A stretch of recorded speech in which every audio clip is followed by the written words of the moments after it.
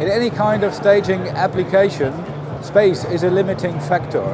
and enriching stage backgrounds with video content is very difficult to realize. Especially in concert halls, theaters and operas, the space behind the stage is very limited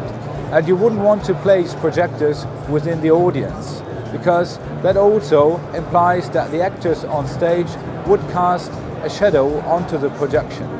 Panasonic has the solution for that with the new ultra short throw lens system which reverses the picture back to the backside of the stage and you can illuminate large screens on the backside of the stage with projection without um, having the actors casting any shadow onto the stage background.